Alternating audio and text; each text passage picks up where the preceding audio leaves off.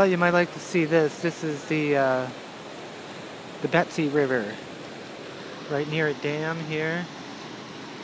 Some real combat fishing here. Look at them all.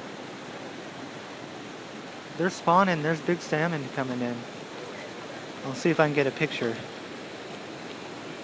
I don't know what they're using. I think they're using spawn bags with like, just like fly line, you know, just a hook.